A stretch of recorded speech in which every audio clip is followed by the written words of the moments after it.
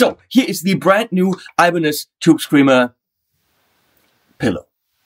But it wouldn't be this channel if we didn't actually review this honestly and in depth. So we're going to start with obviously what a tube screamer is supposed to do, which is sounds. So let's hook it up to the setup that's on the table and see if it sounds like a tube screamer. Okay, so I hooked up the brand new Ibanez Tube Screamer pillow to uh, a Lion from Universal Audio and a little TC delay. Uh, without the Tube Screamer pillow, it sounds like so. Nicely edge of breakup sound. Um, one of the issues is that the uh, jacks are a little bit loose, so you'll have to employ some duct tape, but only green duct tape will work, obviously. Now, let's see what it sounds like when we uh, turn this puppy on. I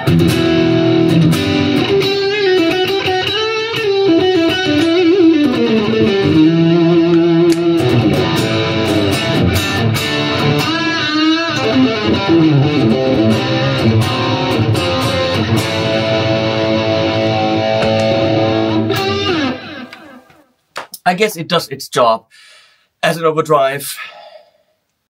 Please don't tell me you believe that.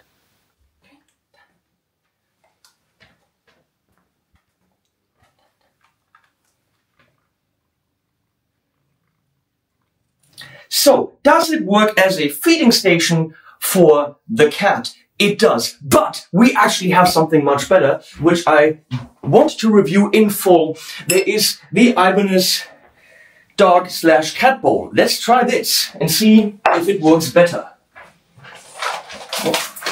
Not yet, not yet. Wait, wait, wait. Oh, much better than the Screamer pillow.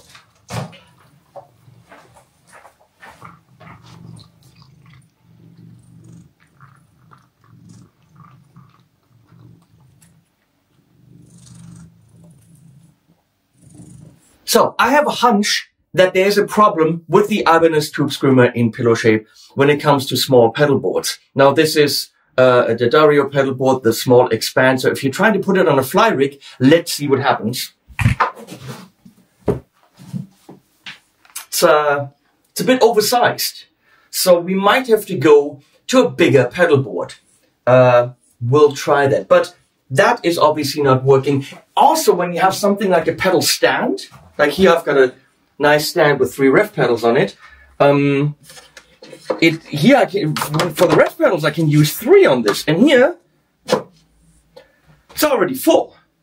So in terms of practicality and economics when it comes to pedalboard real estate, poo Ibanez. Mm -hmm. Also talking about pedal boards, now there's a lot of surface on the back. And realistically, how much Velcro do you need to actually get this securely fastened to a pedal board with Velcro. I'm going to say this is probably the whole roll.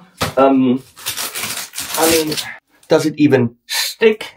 Not well, no. I mean, can you do it? Yes. Is it going to be safe on your pedal board? I don't think so, Agnes. What were you thinking? We are now here uh, in the post office where we're testing pedal boards. Uh, there's a Schmidt array, there's a second Schmidt array. Uh, let's try this mono and see uh, if the Ibanez Tube Screamer pedal fits on a mono board. We have a couple of pedals on here. Oh, that's where my doesn't is. I understand now. So, ah, that's where they are. So let's say we're gonna get the starlight off here. Starlight off. It would technically fit here, but you can already see what the problem is if you can attach the Velcro and you can put it on your board, first of all, lots of board real estate lost, but also you cannot close your pedalboard bag. What were you thinking? One of the benefits of the Super Pillow is if you have a hallway like I do, which is all green, it almost camouflages. I mean, depending on where you hold it, it's a different kind of green, but I mean, you get the idea. Okay, let's test the properties of the Overdrive Pro TS808 Ibanez Tube Screamer pillow in its natural habitat, which is as a pillow.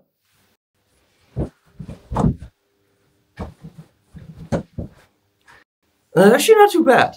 I'm actually, what if I lie on the knobs? Oh, with having a knob in your head isn't so great, but okay. Okay, now, I mean, uh, in this. Okay, Bruno. Uh, since most of the things here are greenish blue anyway, can you please test this two screen materials 808 pillow for us? No, mm, not not so much. X, what do you think? Hmm?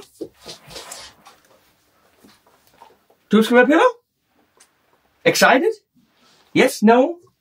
Indifferent?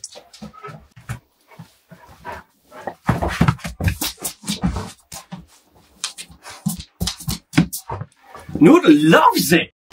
Come.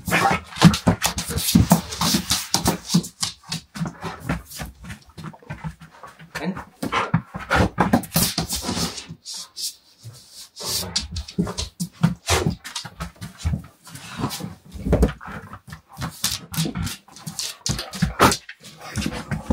They took my pillow for the dumber dogs in this world.